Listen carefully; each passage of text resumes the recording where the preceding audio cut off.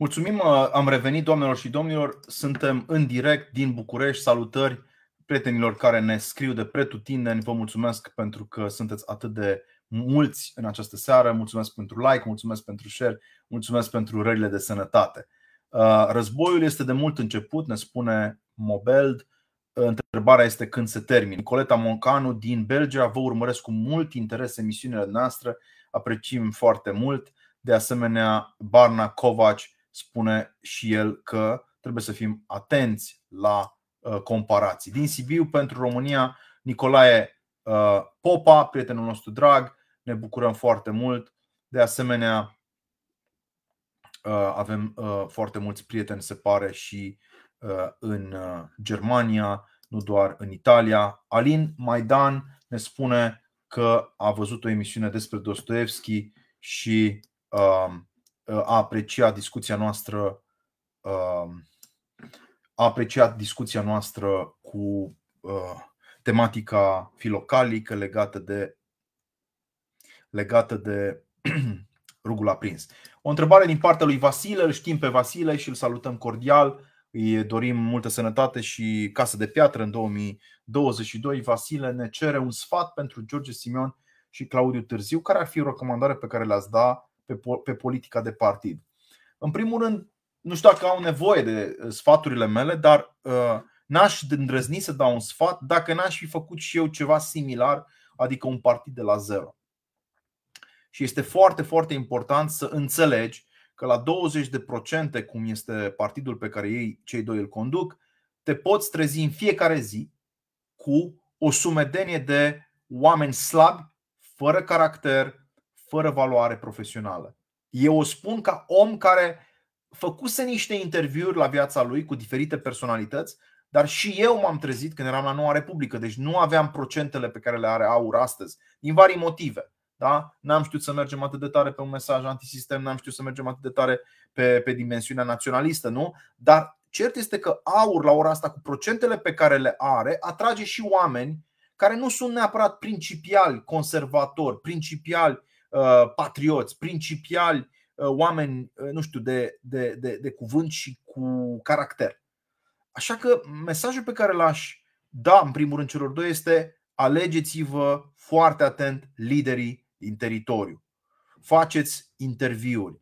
Stați foarte atent prin preajma celor care folosesc brandul partidului și îl, îl, îl rostogolesc, ca să zic așa, în teritoriu. Primul lucru este da? de la cap se împute totul, inclusiv peștele, da? omul sfințește locul ca să inversăm cumva fraza. Dacă n-ai oameni de valoare în teritoriu și în București, bineînțeles, e în zadar faptul că ai strâns 20%. Este, este în zadar că ai strâns 25%. Iar oamenii buni se întâlnesc altfel decât oamenii uh, uh, de duzină. Și anume se întâlnesc prin întâlniri private, prin încercări repetate de a-i cuceri pe teritoriul lor, care poate fi un teritoriu al businessului, un teritoriu al ideilor, un teritoriu al filantropiei, un teritoriu al, uh, al activităților studențești. Nu îi poți cuceri pe oameni pe teritoriul tău, neapărat, dar îi poți cuceri pe teritoriul lor. Al doilea lucru pe care doresc să-l spun este uh, foarte simplu. Mai ușor cucerești strada sau piața decât un salon un salon unde diplomații vor să vadă ce ai de spus după prima frază, după a doua frază, după a treia frază. Ce mai vrei să-mi spui? Zim ceva. După un slogan pe care uh, l-ai rostit eventual la televizor sau la, uh, eu știu, uh, stadion, după primul slogan, al doilea slogan sau al treilea slogan, familie, credință, patrie, vreau să văd și cealaltă frază. Cum vei face tu asta? Cum vei face tu ca românii să se întoarcă acasă? Cum vei face tu ca uh, în România datoria publică să scadă? Concret. Și aici e nevoie de un plan foarte, foarte serios, care să implice inclusiv curățarea administrației de căpușe. Eu n-am auzit niciun mesaj economic solid până acum din partea uh, AUR care să convingă un electorat de dreapta, pentru că electoratul de dreapta, și aici mă includ, e format din oameni care plătesc taxe și impozite. Fraților, când vine ANAF-ul și îți bagă așa o poprire de asta scurt de vreo 12.000 de lei pe un cont, pe un alt și tu ești antreprenor și ai vrea să dai niște salarii mai mari, dar ANAF-ul uh, nu-ți cere socoteala și face chestiunile acestea, uh, înnebunești. Pentru că știi că banii ăia 12.000, 20.000, 30.000 pe care uh, îți pune poprire, să zicem, ANAF-ul, banii ăia se duc în buzunarul unui șmecher de la București dintr-un minister inventat pentru politruci. Și aici cred că este foarte important ca mesajul economic uh, să fie mult mai clar. Deci, recapitulez uh, și, și insist asupra acestor trei puncte. 1. Liderii din teritoriu trebuie intervievați, analizați și ca în marile universități occidentale trebuie să ai și recomandări scrise pentru unii dintre aceștia înainte de a le da puterea sunt foarte mulți oportuniști, atenție la oportuniști, atenție la oamenii de calitate și oamenii de calitate în general au și o meserie și au fost buni în meseria lor. Al doilea lucru pe care am vrut să-l spun este uh, atenție mare la diplomație. Au fost niște semnale din partea Bisericii Ortodoxe foarte, foarte importante. Da? Dacă vrei să cucerești publicul rafinat creștin, creștinii nu sunt, uh, iertați-mă, nu sunt grosolani. Dau un exemplu. Creștinii nu înjură, de pildă. Nu înjură. Da? Creștinii nu bagă mâna în gâtul altcuiva. Nu fac asta. Dacă au făcut-o, vă rog să-mi spuneți. Iar când Petru a vrut să scoată, a vrut, dar n-a, n-a putut, să scoată sabia, Iisus i-a spus, Petre, bagă sabia în teacă. Deci, noi am primit clar un mesaj de la, de la biserică. Nu e în regulă să defilezi cu numele lui Dumnezeu pe buze dacă tu ai un comportament care nu uh, te validează. Și bineînțeles, noi am comentat și nu vrem să, să, să greșim nici față de patrioți. Da, cei care au furat ultimii, în ultimii 30 de ani s-au îmbrăcat în haine scumpe. Ei știu uneori să mimeze și postura de gentleman. Hoții, doamnelor și domnilor, inclusiv excrocul de pe Tinder, apropo de filmele cu care uh, probabil v-ați mai întâlnit, hoții, inclusiv excrocii de pe Tinder, pot să se îmbrace la patru ace. Și biserica uh, ar trebui să condamne nu doar, să spunem, excesele demagogice ale unor politicieni, ci să și condamne hoția care i-a făcut pe cei mai mulți români harnici să plece din țară în ultimii 30 de ani. Că de ce ori fi plecat românii din țară dacă nu pentru că s-au săturat de hoție? Și atunci mesajul meu este e foarte important să se intre în faza de cucerire nu doar a galeriilor, a străzii, ci și a comunităților de business, a comunităților culturale, a comunităților academice, a comunităților spirituale, religioase, dar pe teritoriul lor, nu pe teritoriul discursului tău.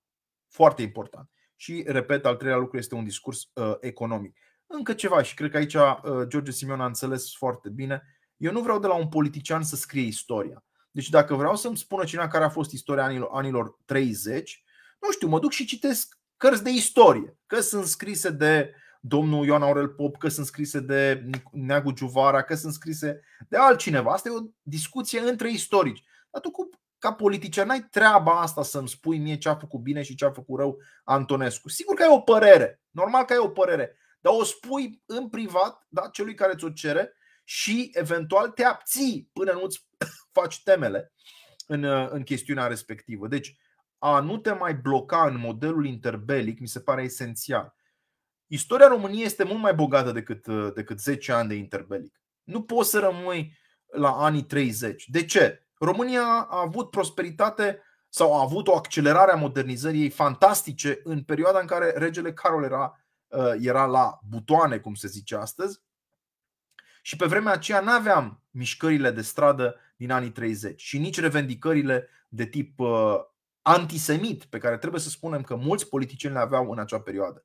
Deci, pe scurt, o politică a viitorului, mai puțin o ancorare în, uh, în lamentații despre trecut, uh, un mult mai mare pragmatism economic. Vreau să știu exact din punct de vedere al taxelor, al impozitelor, al numărului de companii de stat, al numărului de angajați la stat, al numărului de primării pe care vrei să le comasezi. Ce vrei mă să faci? Uite, vine aur la putere și comasăm cele 42 de județe se vor transforma în 18, 18 voievodate sau 18 regiuni sau 10 regiuni. Spune-ne, cum o vezi? Demografia. Ok, fiecare copil care se va naște într-o familie în care există dovada că ei au fost instituționalizați într-o școală și mai departe, va primi atâta, atâția bani. Între, nu știu, în vârsta, la vârsta de un an până la vârsta de șapte, contribu- contribuția. Nu cu prostiile doamnei Firea care vine și ne spune că fertilizarea in vitro este prioritatea pentru demografie. Să fim serioși. Cu, cu fertilizarea in vitro nu o să rezolv niciodată demografia în țara noastră. Da? Și uite că în felul acesta am răspuns mai amplu, dar rețineți cele trei uh, sfaturi. Interviuri la sânge de o oră, două, trei cu liderii locali, alegerea pe sprânceană a viitorilor candidați în orașele mari, pentru că acolo ei se vor vedea. Calitatea candidaților trebuie să fie impecabilă și munca de recrutare trebuie să fie un compartiment special în cadrul oricărui partid. Punctul 2. Repet, mai importante sunt acum saloanele decât stadioanele și când spun saloane știți la ce mă refer. Da? Acolo unde bei un ceai, o șampanie dacă trebuie și stai de vorbă cu un om care a citit uh, un, un hectar și jumătate de cărți în plus față de tine. Acolo să te văd. Acolo să, să, să înțeleg dacă ai ceva sau nu de, com, de comunicat. Și punctul 3, uh, spuneam, o doctrină economică de dreapta. Dacă mai aud că tot statul trebuie să conducă, că statul știe, mă, dar statul e compus până la urmă de cine? De, de, din cine? Din politruci? Adică, ok, politrucii noștri sunt mai buni decât politrucii lor, Hai să vedem. Deci să vedem doctrina economică a celor de la aur și mai discutăm. Uh, este